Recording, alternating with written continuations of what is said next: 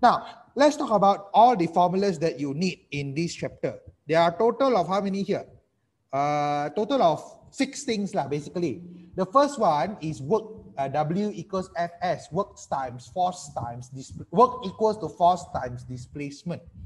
Uh, of course, you must know uh, units are W unit in J because you must know that work actually is the same as energy.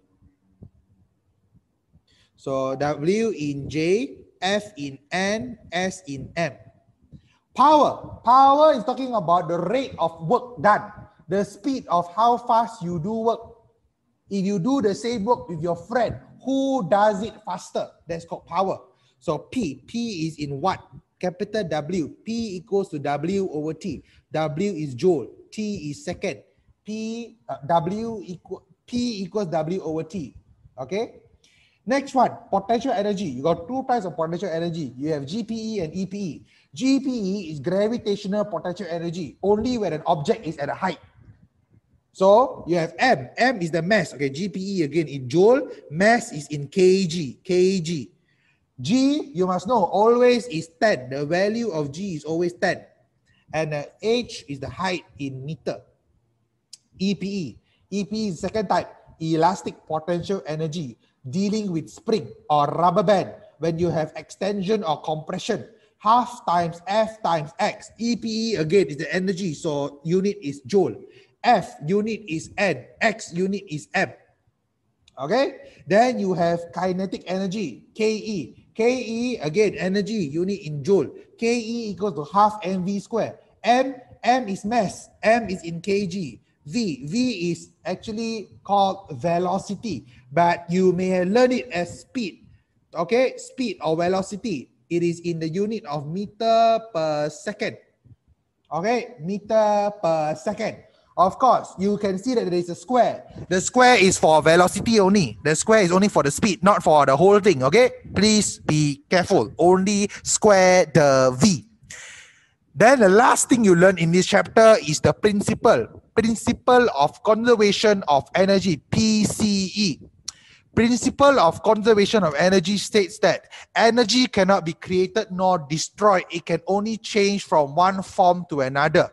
So the energy that is changed from potential to kinetic to potential to kinetic to potential to kinetic, the total energy is always the same. That's why you can see in the coconut example just now, when the coconut is at the top, 100% PE. Then when it become halfway, you must split the energy, 50% PE, 50% KE cannot have 100 100 because energy the total energy is the same. If you got 100 joule then in the middle you got 50 50 then at the bottom you have got 100 again. Total must always be the same. That is what the pce tell you so pe equals to ke what happens is you can substitute the formula for pe and substitute the formula for ke inside half fx is from epe half fx equals to half mv square why do you need to do this? Next one, MGH equals to half MV square. Why do you need to do this? Because sometimes question never give you the V, sometimes question never give you the M, sometimes question never give you the F, sometimes question never give you the X, sometimes question never give you the H. What do you do? You need to substitute everything else that you know to find the unknown. Like in this example here, the coconut example, you know the mass of the coconut. Let's say the mass is one kilo. You know the G, G is always 10. Do you know the H? H is four meters. But do you know the V? You don't know the V. Can you calculate the V? Yes. What do I do? I use this formula. Lah. If I want to find the V of this coconut, how do I do the V of coconut? Let me show you. Let me show you.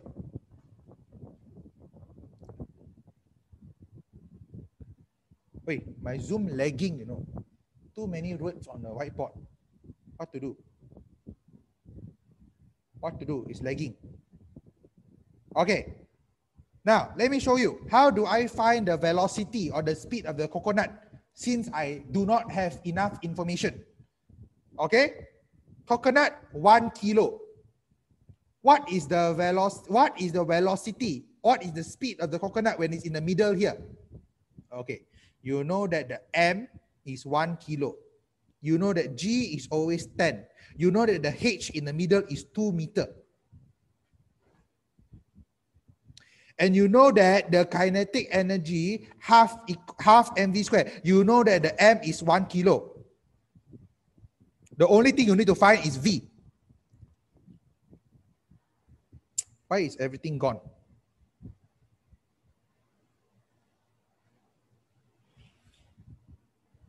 What do you do? Mgh equals to half mv square. You want to find the v. What do you do? Substitute everything that you know. 1 kg. 10. h is equal to 2, equals to half. m is 1. v you don't know. Put v square there. And then what do you do here? Move everything to the other side. Over 2, bring up, become multiply 2. The 1, forget about it. The 1, forget about it. So over here you got 20. 20 multiplied 2 is 40.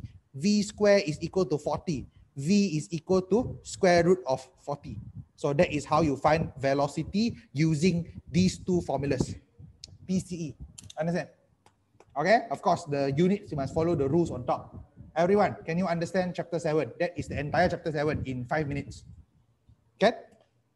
Good enough for you? Is it good enough for you? Entire chapter 7 in 5 minutes. Okay? I don't know how else to be faster.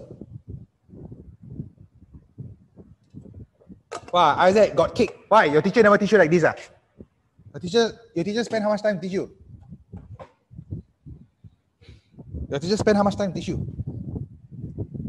Ah.